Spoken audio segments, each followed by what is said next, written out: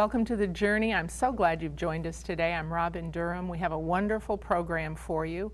I have a very special guest with us today. This is Pastor Marrie Cardin from Granbury, Texas. She is the senior leader of Brazos Covenant Ministries. Marrie's been on the program before, and I'm just so glad to have you back. Thanks for coming in. I'm glad to be back. I love your region, by the way, here. Thank you. I feel the heart of God Amen. when I drive in. We are the heart of Texas, so I You mean, are. we're believing that God's heart is, you know, expressed here. And uh, anyway, Marrie has um, done a lot of things in her life. Uh, she's part of the Texas Apostolic Prayer Network. She's always been an intercessor, been very much for a number of years. When I first met you, probably 20 years ago, you were very much in the in the office of a prophet, and we're teaching prophetic schools of ministry. And uh, as you have matured and progressed, you've stepped up into leading a, a congregation. Uh, you also love to go down to Austin, be a part of the legislative prog, uh, you know, thing that goes on down there. Process is the word I was looking for. Uh, last year, you were down there working on the clergy protection legislation. So I really appreciate uh, pastors. I appreciate believers who are willing to take part in. You know, governmental Yes. things, and I think we all should step up in whatever whatever area that God is uh, calling us into to influence. But, you know, since Marrie is, she has such a ear to hear what the Lord is saying and um, can flow in prophecy. I've been in meetings even recently with her where God just begins to flow prophetically. You serve on prophetic teams sometimes and uh, i'm wanting if you'll share you know uh, freely what it is that the lord is showing you as we have moved into 2017 for this year I sure will, and uh, it's so important. We have got to, we're at a crossroads. We have great opportunity. It is not time to stop praying. Oh, amen. We must press on. I think one of the greatest gifts to me the church has been given is the capacity to hear his voice. Mm-hmm. And oh my goodness, saints, when we can pray what he's saying, mm-hmm. go where he says go, hear his voice, and pray what he's praying, and say what he's saying, we could be here two days talking about the miracles. Amen. I've seen in the nation and in states and in places. This year, he's asking the body of Christ to step up. Now, I think I'd like to speak especially to the body of Christ in this nation. Um, we must step beyond where we are, go beyond where we are. And we'll do it by His power, we'll do it with a heart of worship. But no longer must the church in this nation sing, I'm coming back to the heart of worship. And it's all about me. Oh, come on. We've got to really mean it's it's all about you. The words I hear for this year is for His glory. That um, He wants to pour out in the nation, in the body of Christ. He wants to pour out right in the middle of Washington D.C. a river of healing and miracles. That river has been captured in past seasons, and I know that. Um, this is outside some people's theological paradigm, perhaps, but the enemy likes to capture things. And he does it when we go silent or when we try to turn God's river to our own glory. come on. And so we've got to stop marketing his glory, marketing his healing, marketing his prophecy. We've got to stop marketing. Uh, you see, my favorite definition of humanism humans are tremendously important to God, but He created us to be in His glory. Mm-hmm. He created us, He said, the hope.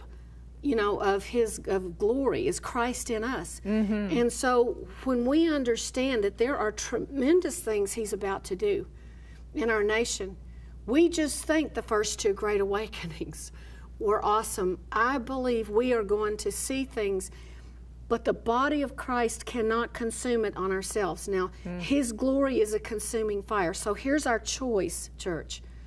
Will I be a consumer? I'll go back to my favorite definition of humanism was by a man named Paris Reidhead years and years and years ago. He said, Humanism is the mindset that believes that the end of all things is the happiness of man. But the end of all things is the glory of God, and, and that is the only way and place men will be happy. And so Moses went right up into the fire of God and said, If you don't go with me, I'm not going. Mm-hmm. So we have got to come to a place where His glory, His consuming fire consumes us, and there's no more of our agenda. This is going to sound straight up, but you know, we get tremendously upset at our politicians in Washington and we complain that they are up there for a career and power and to stay there and, and it really that they've forgotten the people and we hear that, but church, we've got to decide. Mm-hmm. What are we about? Is it That's so good, Marrie. is it our reputation? Is it our agenda? Is it our needs or His glory? And I believe it's a crossroads right now. And if we will turn our face towards Him and seek His face and let His glory consume us until there's nothing left of us, we are going to see His glory poured out like never before. But the Lord is saying to His people, it's a season of going beyond. You will hear this word all over TV. You'll hear it every place. People will say, "This is unprecedented. Mm-hmm. This it's an unprecedented election. It's an unprecedented statement." You know, and what they're saying is, "This has not happened before. This is a 1st And mm-hmm. what I hear the Lord saying is, "Turn toward me.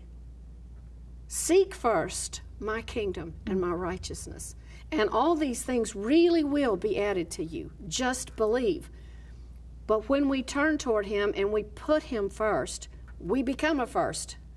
We become a first. We become, we have the awesome honor of co partnering with our Father in such a mm-hmm. way that there are things He's going to ask us to do that haven't been done before. So we've got to come out of old mindsets, old ways, old traditions, old forms, and be willing to cross over into what He may be doing for the first time. And if we don't know what it looks like, that's okay too. King Jehoshaphat was in a tremendous battle and said to the Lord, I don't know what to do, but my eyes are on you. Mm-hmm. And this was the battle where the Lord told him, Put the worshipers on the front. Who ever heard of such a thing? Mm-hmm. But King Jehoshaphat was in a battle he couldn't win. But when he listened to the Lord and listened to the prophetic word and the Lord's encouragement, he was instructed to put worship on the front. Now, who ever heard of such a thing? Couldn't you see that today? Mm-hmm. We're going to go take ISIS and we're going to put worshipers on the front. but this is what he did. And what happened is when he wor- when they worshiped, the angels began to come into play and defeated the army before we ever got there. This year, if we will go all out and we will say, none of me and all of him, and there's a practical aspect of this we've really got to get that I want to say in a minute. But if we will, if we will do this, the angels are going with us, and we will see breakthrough. There is nothing for the body of Christ to fear. We're going to the Lord of hosts is with us, and the host of heaven are ready to go with us. Now, if I can just continue, there's one thing, it's a first. It was the first in God's mindset. It's a mindset. Mm-hmm. it was the first in the Old Testament, and it was the first in the New. Is that we must understand what He means by first. He says the first will be last, hmm. and the last will be first. When we talk about being first, apostles first, when we use statements like that, being consumed in His glory means we understand there's a cross in front of me. When I'm first, I'm last, and I'm fixing to lay down my life.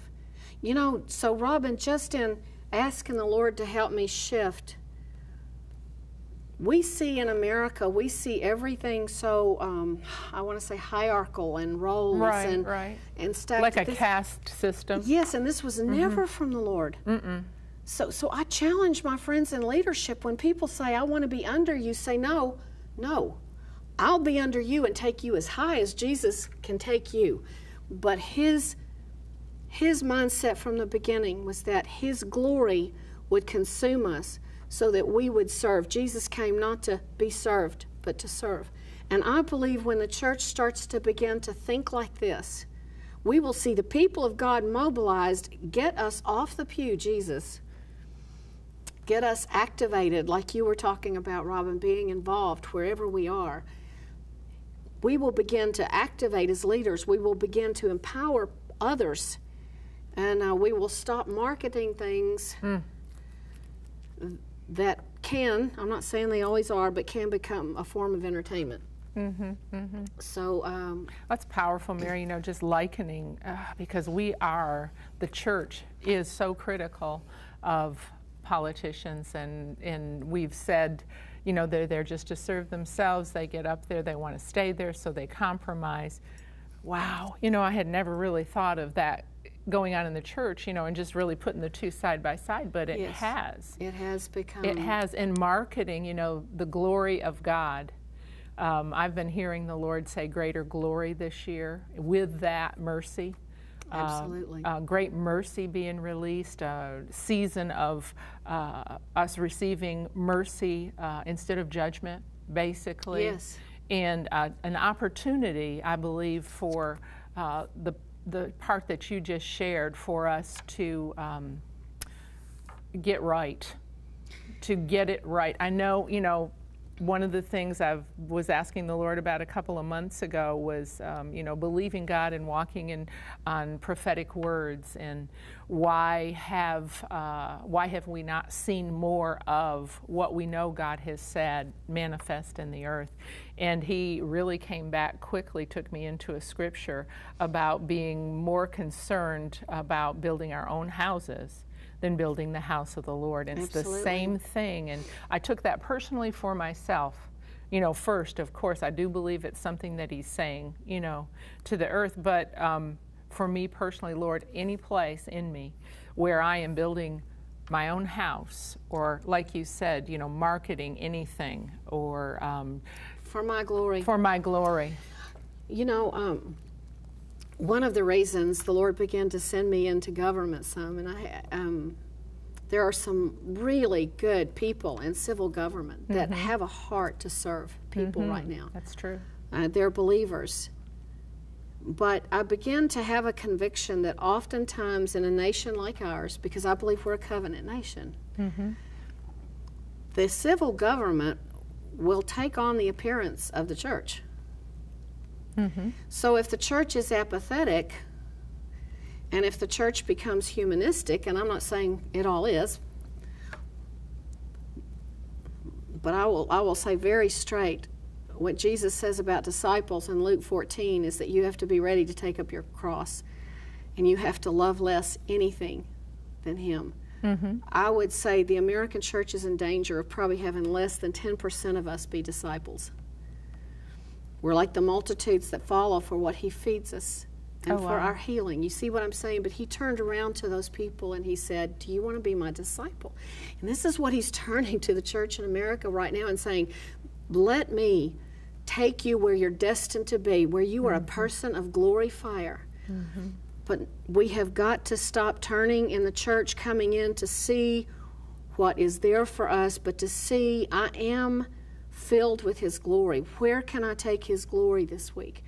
And don't compare yourself with other people. Compare yourself to Him. Mm-hmm. And let's begin to move like that. And I, I call on leaders, oh my goodness, in the body of Christ, to lay yourself down. Find that cross. Love less. Family, everything else. He, Jesus said, Who's my family? You know, and he pointed to those with him. Love less everything and spend your life, give your life serving others and serving him in such a way it will it's all going to be turned. But it must start with God's people. We have to go 1st You know, a, a recent guest shared uh, something similar. Seek ye first the kingdom of God. And he said, um, you know, it, it starts often with I need healing. Uh, I need finances. But if that's where it remains, you've missed your destiny. You've missed your destiny. And, I- and as you were saying it, that was resonating again. God is just really trying to move us into destiny, move us into what He created us for, which Yes, is way is. bigger than our own individual needs. He said, Seek first the kingdom of God, and all of these things are added, They're already come. taken care of. They're going to come. And so, you know, I would say to any new believer, absolutely seek Him for your healing. Absolutely seek Him for your Amen. joy and everything else. That's who He is. He is our life. But know that He is going to take you beyond to lay down your life to share that healing, to become that joy in the mm-hmm. lives of mm-hmm. others and in His kingdom.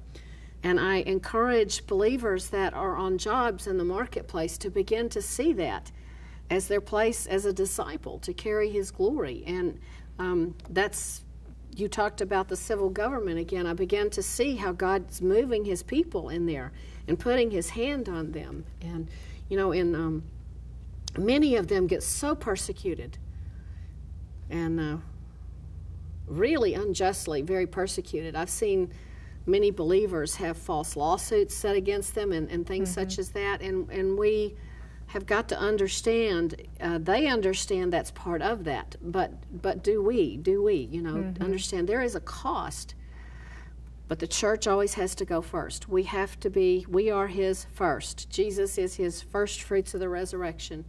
When we see that we go to the cross first, now we can look at government and other things. And literally, what we're saying is follow us.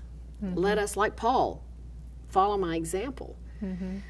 And so um, when we went, um, I went to the, I do not believe in the separation of church and state the way it's modernly interpreted. I believe that Christians are not separated from any avenue of culture. Um, but when the Lord sent me to the capital in Austin to be a part of the Clergy Protection Bill, um, He just said, Go. And I want to show you things there. And I want to speak through you. And uh, I saw the church at first, it was, it was small. But I watched through that process. You know, things, bills go through a process of committees, and, and we would be there and walk it through the whole thing. And I saw um, how the church just doing that began to grow, and how pastors and leaders begin to understand if I don't go in here as the church, if I don't lay my life down and exhibit His glory right here, there's a lot to lose. Mm-hmm. Because you mm-hmm. can be for sure that there are those who want you not to have the right to marry whom God says to marry and not marry whom God says don't marry.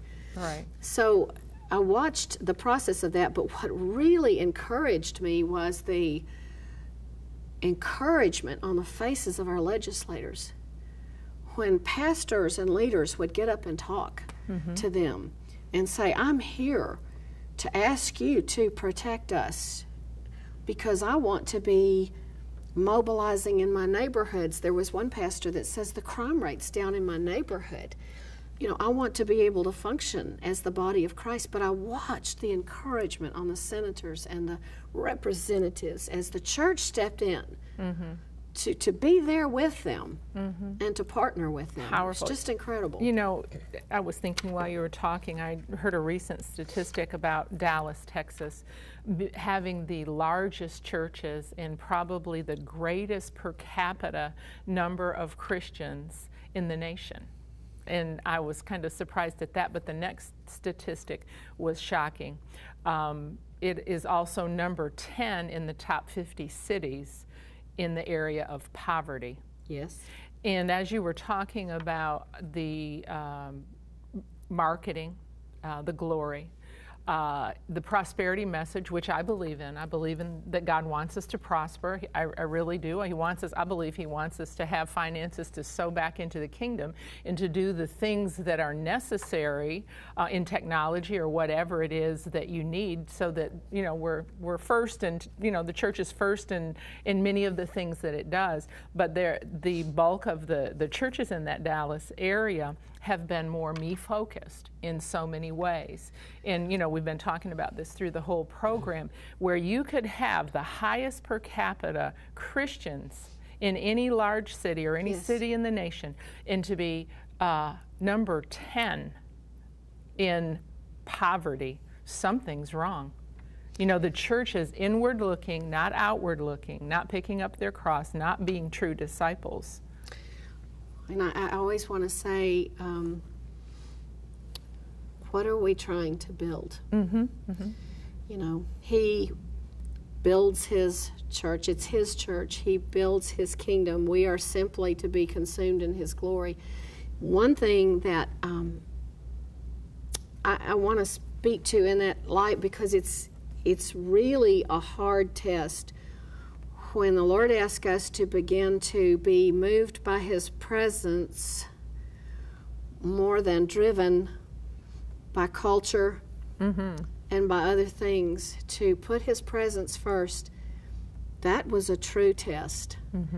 Um, there were things lost, maybe things that needed to be lost, but I don't speak from a place of saying this is easy and a piece of cake. We will be asked to do things um, that will severely test.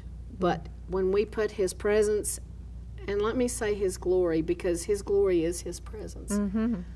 And we decide, you know, we're going to follow the ark over the river like Joshua's army did. We're not going to go uh, and ask the river to part so that we can be culturally sensitive to Jericho. We're going to have to follow his presence. And there was nothing God's people were asked to do. We're very culturally sensitive. And I, I know that that's important to reach people, but I want to say this is, is not always easy. And um, There is a cost. there know, is a cost, but we, no doubt. I believe the Lord is saying this year, will we stop building for us? Mm-hmm, Stop building for something called culture, because culture changes. We are to form culture, That's right. not mold to it. Mm-hmm. Yes, it builds bigger, and but I will tell you, the Lord's asking us to to do something different. He's asking us to be consumed by His glory, to be moved by His glory, to become true disciples, to pick up our cross. If we love our lives here, Jesus said we will lose it. But mm-hmm. if we lose our lives for His sake, we will truly find it. Mm-hmm. And there is a joy just simply His glory in you. Jesus in you is the hope of glory. To be moved by Him, sold out to Him. But His message for us this year is His glory first, because the church is to be first. We are to be the representative of Him on the earth, and we cannot expect government to do our job, hmm That's true. and we cannot expect entertainers to do our job, nor football icons, nor anyone else. It all reflects, I believe this with all my heart, it all reflects where the church is.